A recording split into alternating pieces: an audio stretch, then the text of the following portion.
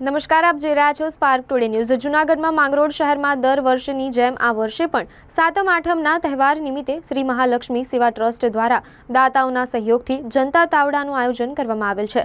ત્યારે આજરોજ મહાલક્ષ્મી ગ્રુપના સભ્યો દ્વારા લીમડા ચોક ખાતે રાહભાવે ફરસાણ મીઠાઈ વિતરણ માટે સ્ટોલ શરૂ કરાયું, જેમાં એક કિલો મોહનથાળ મીઠાઈ, એક કિલો ગાંઠિયા, પાંચસો ગ્રામ ચવાણું તેમજ પાંચસો ગ્રામ શક્કરપાડા માત્ર ત્રણસો પચાસ રૂપિયામાં વિતરણ શરૂ કરાતા મોટી સંખ્યામાં લોકોએ આ જનતા તાવડાનો લાભ લીધો હતો. દર વર્ષની જેમ આ વખત મહાલક્ષ્મી સેવા ટ્રસ્ટ તરફથી જનતા તાવડાનું આયોજન કરેલ છે.